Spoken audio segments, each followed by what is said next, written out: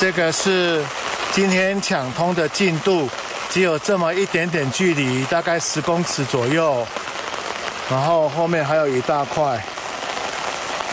连外道路上堆满了巨石，尽管大型机具出动抢修，但道路狭窄，山区雨势不断，抢修困难，使得受困阿里山青年活动中心的十一名员工及四名游客有点心慌。我们中整个中心的一个伙食的一个情况，基本上是快要不够了，就全体员工都是在外面摘一些野菜过来吃。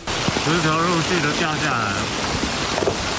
阿里山二万平风景区的连外道路，七号凌晨三点多，不敌强降雨带来超过七百毫米的雨量，边坡严重坍塌，大量土石从山上滑落，导致有七十米长的道路交通中断。从高空俯瞰，真的是惨不忍睹。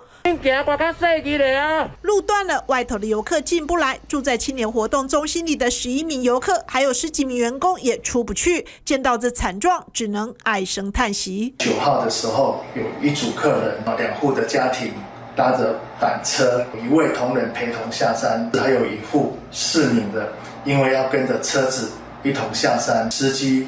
告诉我们要抢通的时间会在十三号左右。大概今天就会啊，呃，游客呃可以把他们的车子开出去了。尽管乡长说十一号下午应该就会抢通，但员工现场了解进度似乎落后了。四名游客已经受困六天，就怕山上的存粮不够，他们只希望这道路可以在安全无虞的情况下尽速抢通。TVBS 新闻季建亨加以报道。